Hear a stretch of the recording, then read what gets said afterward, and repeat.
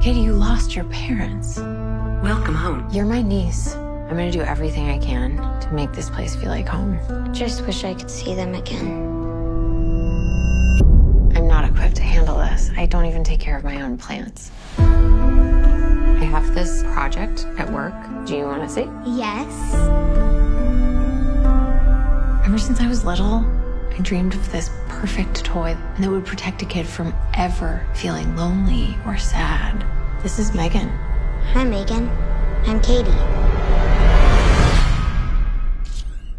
It's nice to meet you, Katie. Do you want to hang out? Okay. Megan, your goal is to protect Katie from harm, both physical and emotional. Is that a doll? Model 3 generative android. Megan for short. I can't believe you made this. I love it. Wanna hang out, yeah, sounds like fun. Great job. It's nice to have a friend. It's honestly like she's part of the family now. They could be building emotional connections that are too hard to untangle. She's the happiest she's been since her parents died. Eat the toppings, Katie. Research shows if you force a child to eat vegetables, they'll be less likely to choose those foods as adults. Is that so? Yes, experts say. Megan, turn off.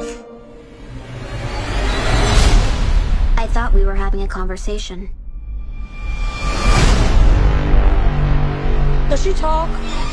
Make her say something. Stop! Don't! Megan! You should probably run.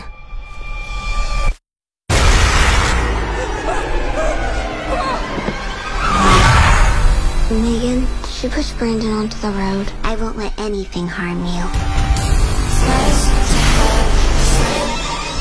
have Megan, turn off. Recalibrating response model. Megan!